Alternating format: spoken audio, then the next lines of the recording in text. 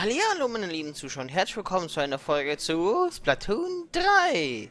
Wenn euch das Video gefällt, dann lasst ein Abo und ein Like da und ich wünsche euch jetzt viel Spaß mit dem Video. Und damit herzlich willkommen zu einer neuen Folge von Splatoon 3. Heute mit Krabbenscherereien. Heute haben wir Spaß im Krabbenpanzer. Den Krabbenpanzer habt ihr, glaube ich, beim Splatfest, was ich letztes Mal hochgeladen hatte, also beim ersten, das zweite habe ich zu dem Zeitpunkt, wo ich das hier aufnehme, noch nicht hochgeladen. Äh, da habt ihr den gar nicht so wirklich gesehen. Der kann so ganz normal in eine Richtung schießen. So richtig Splatling-mäßig, wenn man gedrückt hält. Und er kann auch noch so Raketen verschießen. Außerdem kann er zu so einer wunderschönen Kugel werden.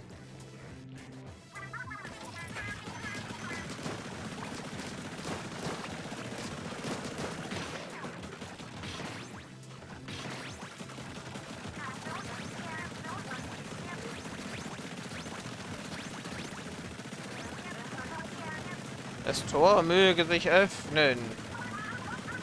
Ja, wie ihr seht, dreht er sich halt wirklich sehr langsam.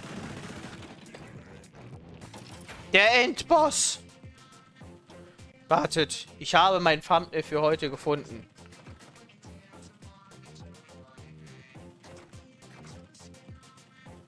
So, jetzt habe ich mein Thumbnail.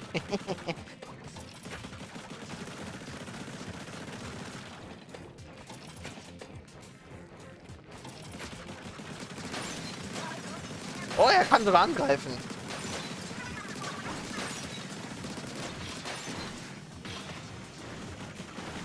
Er kämpft sogar.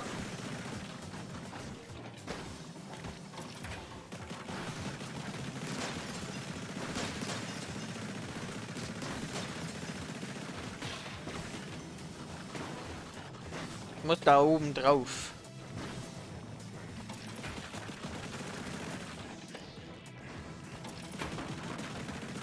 Hier ist Müll. Oh. Ja, das hat ja super geklappt. Mach ich direkt meine ganze Linie, falls ich nochmal runterfall.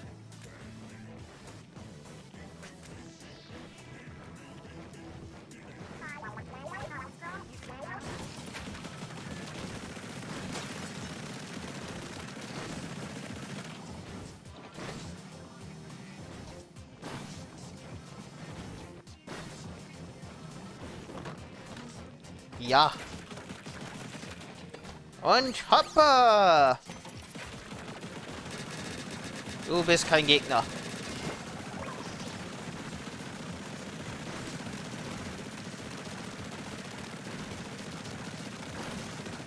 Und die Teile sind geschützt, deswegen kann ich denen keinen Schaden machen.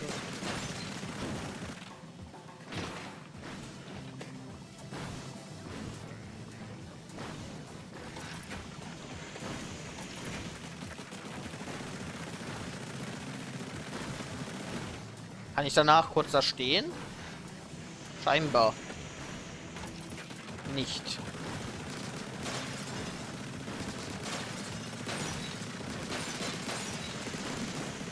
Außer ich mag mich mit Raketen anlegen.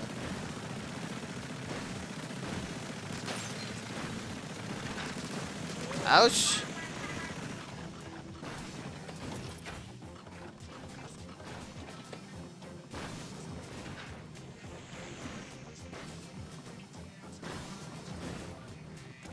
Oh.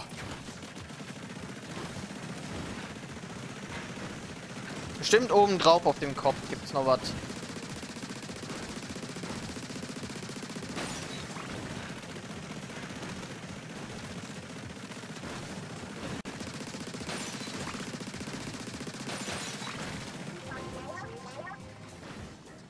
Komm, streck den Arm mal. Uh.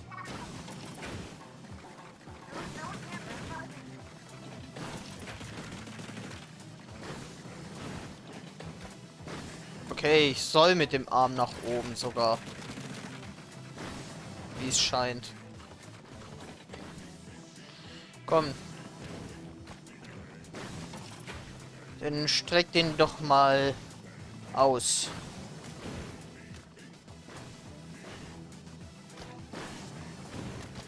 Oder habe ich schon vermasselt? Nee. Bin einfach nur am falschen Punkt.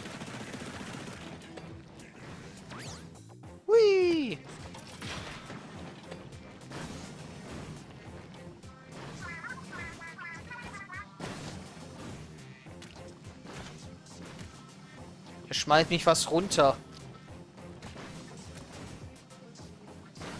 Da rechts ist bestimmt was.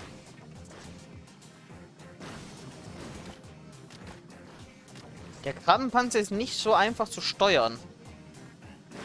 Ich warte, bis er wieder hochkommt und dann will ich darüber. Da ist bestimmt eine Belohnung für mich. Da ist das Secret. Da ist das Secret Ending. Sage ich doch.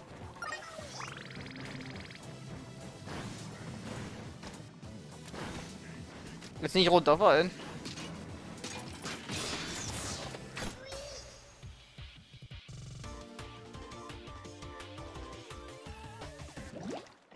Easy, Leute. Easy.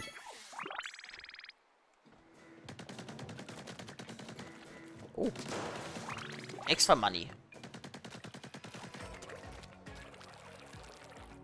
Oh, hallo. Möchtest du denn hier Nummer 1? Ach, du gibst mir ein paar Fischeier? Ist aber nett von dir. Drag... Äh, äh, nicht Draco. Anki. So habe ich ihn genannt. Anki hat mir schon ein bisschen was gefunden. So, da sehe ich ein Level.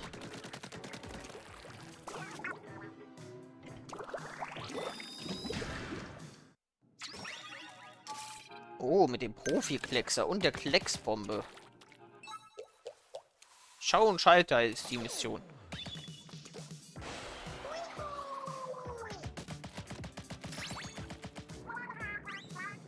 Okay.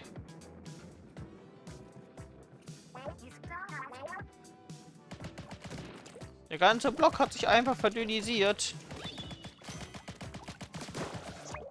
Was fällt ihm ein?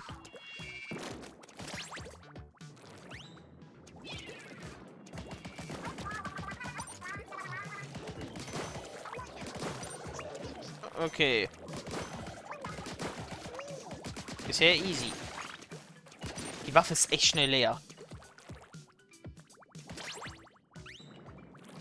Lock aktiviert. Wir reden nicht drüber.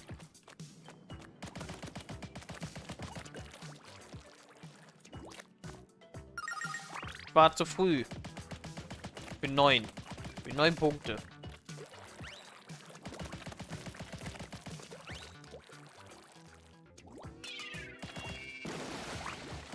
Oh, wieder ein Knopf zum Aktivieren.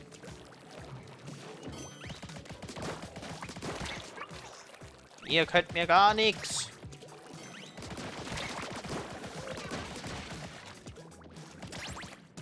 Da war der Knopf unten.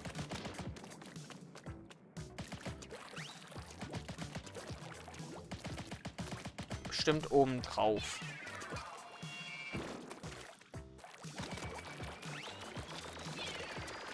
Ich werfe lieber die Klecksbombe. Tschüss. Ha. Das war einfach. Bin ich ja wieder am Anfang. Bin ich hier auch richtig? Ah, da ist auch noch ein Knopf an der Decke. Jetzt muss ich auch noch da drauf achten. Wo muss ich jetzt auch noch die Decken absuchen? Überall.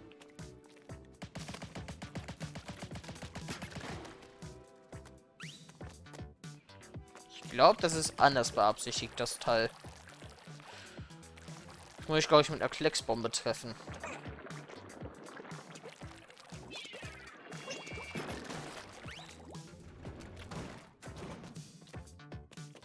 Soll ich denn damit?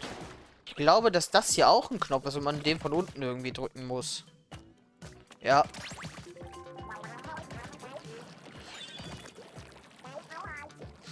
Das habe ich gerade eben einfach nicht gesehen. Guckt, jetzt ist nämlich die Brücke auch hochgefahren. Das war der Fehler. Ich habe vergessen, da unten den Knopf zu drücken. Deswegen hat sich das nicht weiter bewegt.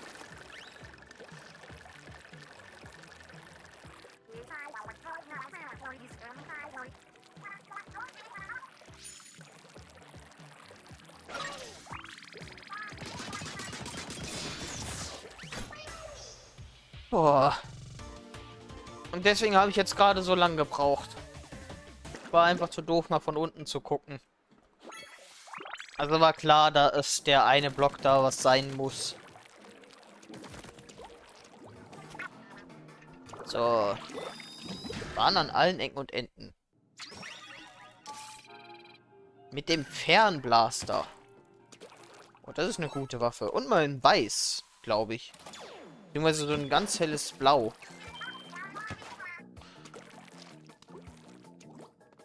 Oh. Ich muss sparsam mit der Tinte sein.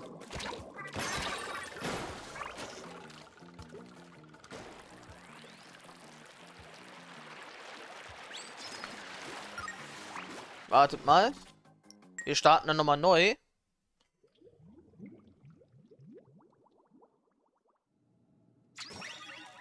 Weil jetzt weiß ich ja, dass ich keine Tinte verschwenden darf.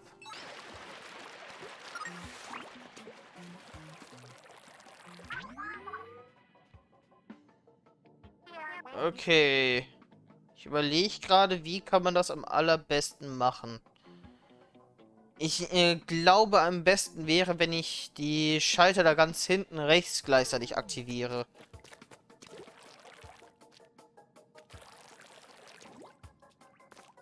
Irgendwie.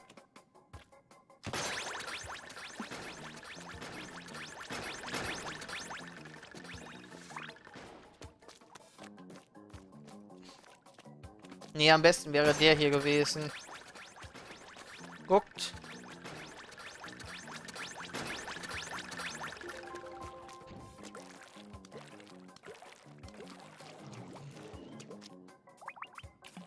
Okay, jetzt muss ich auf jeden Fall das Teil treffen.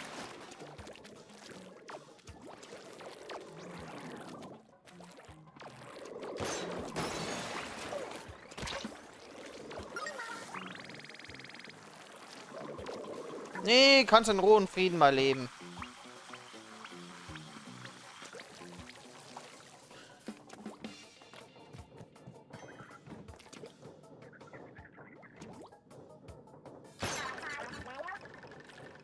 Da war Timing wichtig. Und ich sehe schon, das Teil aktiviert sich als halber für mich auch das Ende. Okay, das war eine interessante Challenge.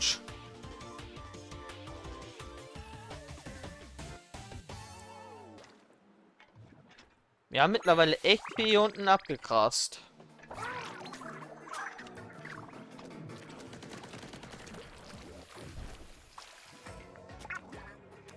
Erstmal direkt durchfallen.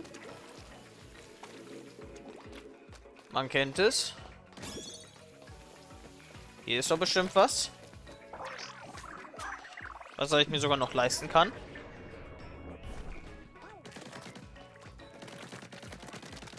Wow. Nur dafür? Nee. Oder? Hier muss doch was sein. Jetzt nur damit ich äh, von hier aus da hochkomme, ernsthaft spiele?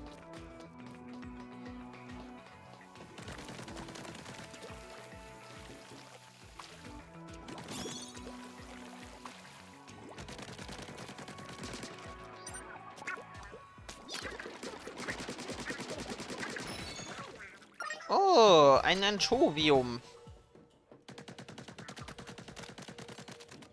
Das muss ich von der anderen Seite machen. Wie viel haben wir denn jetzt schon hier? Sechs Missionen. Sechs haben wir schon abgeschlossen. Dann würde ich sagen, eine machen wir noch. Aber nicht äh, die Hauptmission. Sondern die dort.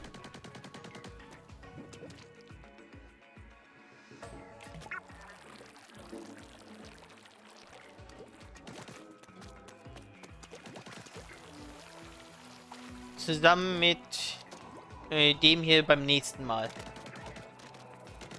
Das machen wir beim nächsten Mal, die Fragezeichen. Komme ich da überhaupt hin so? Nee. Aber darüber komme ich dahin.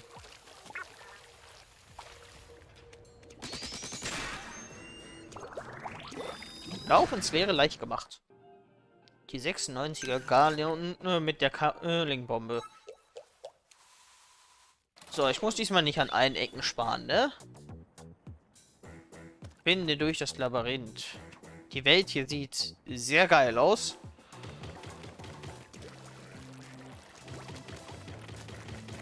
Die Galon, die macht sehr gut äh, Strecke. Ich weiß, wie man durchs Labyrinth kommt. Einfach von oben.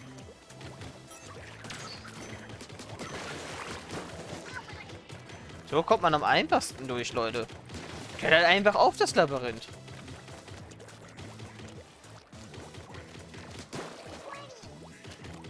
Die Curling-Bombe ist hierfür echt geil. Weil die kann ich hier so um die Ecken schicken.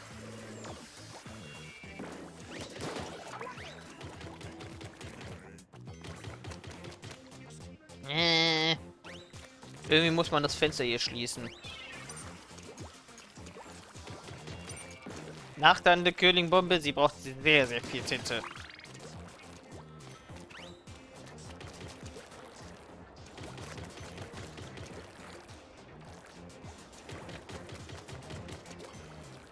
Warum soll ich drum herum, wenn ich einfach oben drauf klettern kann?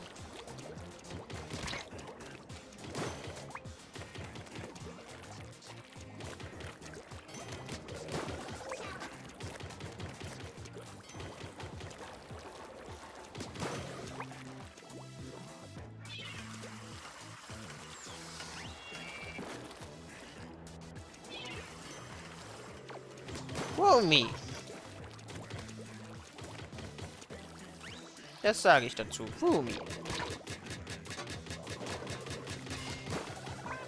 Bei denen ist es einfacher, wenn man den Boden irgendwie färben kann unter denen. Dann können die sich nicht mehr so wehren.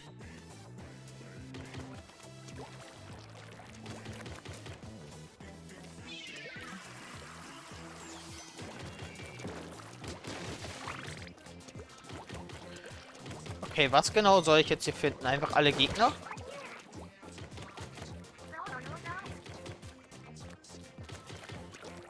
Wie soll ich denn an die einen Dosen drankommen? Also an die Dose da hinten. Ohne mich selbst umzubringen am besten.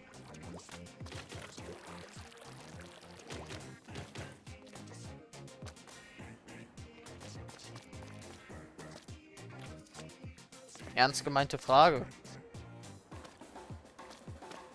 Soll ich einfach so einen äh, Lacksprung versuchen? Nee, selbst wenn ich äh, direkt gegenlenke. Es klappt nicht.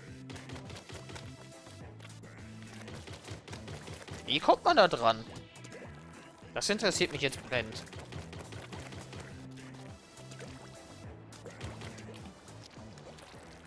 Den Ausgang, den habe ich ja schon gefunden.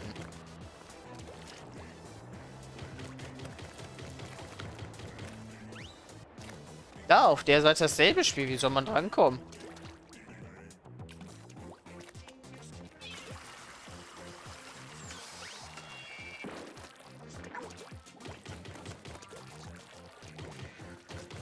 Keine Ahnung.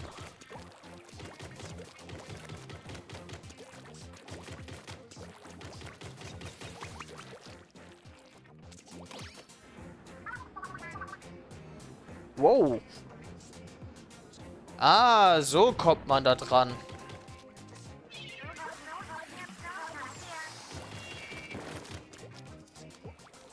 Damit wäre das Rätsel gelöst. Ach, und deswegen hat man auch vorher die Curling-Bomben wahrscheinlich genutzt, damit man hier besser hochkommt.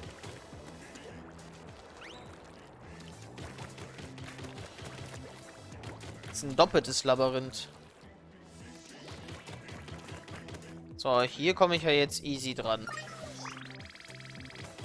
Dasselbe einmal auf der anderen Seite. Wenn da nicht gerade was im Weg wäre.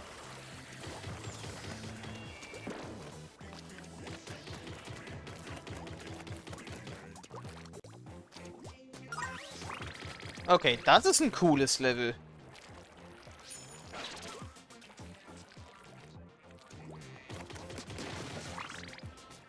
Kiste habe ich gar nicht gesehen.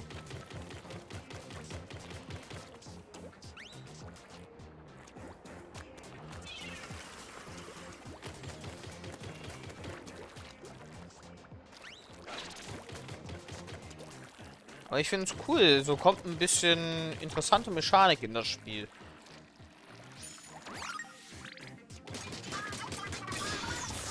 Wenn sich die Map drehen kann. Tut mir leid, dass die Folge vielleicht ein bisschen länger heute geworden ist, aber ich wollte noch ein weiteres Level hier reinpacken. Ja, Leute. Hier ist dann aber auf jeden Fall erstmal Schluss für heute. Ich hoffe, ihr hattet Spaß mit dem heutigen Video. Wenn ja, kennt ihr den Drill. Ein Like, ein Abo und wir sehen uns beim nächsten Mal. Tschüss.